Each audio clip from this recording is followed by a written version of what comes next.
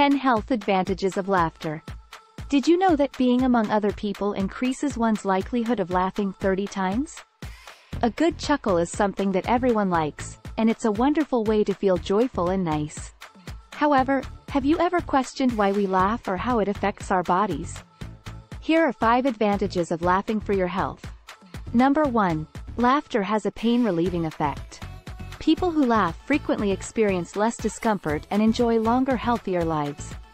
People who have an optimistic attitude in life are said to laugh more frequently. The endorphins that are released when we laugh make us joyful, and the happier we are, the less pain we feel. Number 2. Regular laughing can save you from disease. Your immune system is one of the major beneficiaries of laughter's various health advantages. Your immune system may be strengthened daily, lowering the likelihood that you will get illnesses. In addition to helping us expand our lung capacity, laughing hard increases the amount of oxygen that enters our bloodstream, keeping us healthier than merely breathing normally would. Number 3.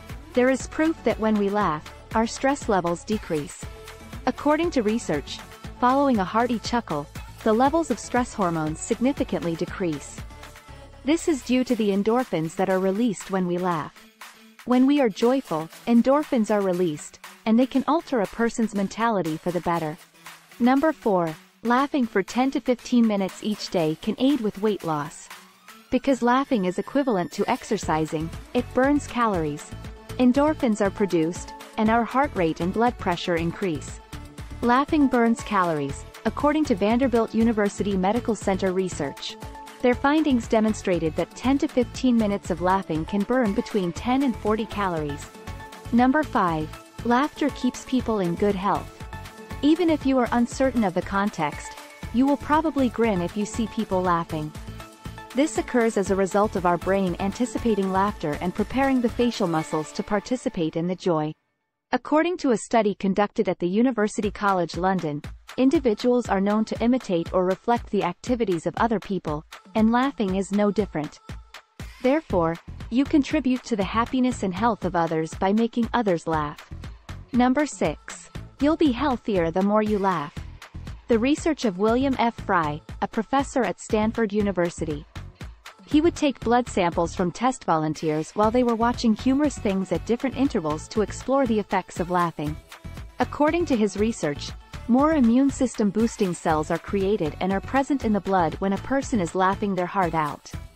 This demonstrated that a more forceful laugh resulted in more immune boosting cells, which is good for our health. Number 7. Intentional laughing may indicate a mental health issue. Intentional laughter may be an indication of internal issues or anxieties. Your brain can distinguish between a fake chuckle and a genuine one.